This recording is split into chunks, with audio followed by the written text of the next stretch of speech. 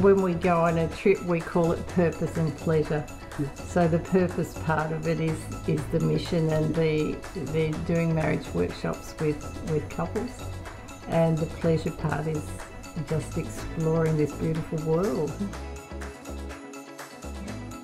Well, we're planning a three-week trip, and we're spending eight days in Sri Lanka, and uh, three of those days will be a workshop with the Tamil people from the north who have suffered war trauma. Then we're going to what they call the hill country, which is a bit cooler.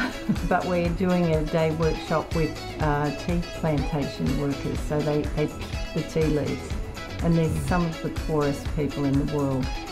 So after we've travelled around Sri Lanka, we get the opportunity to go back to the land where Jesus ministered and where mission started.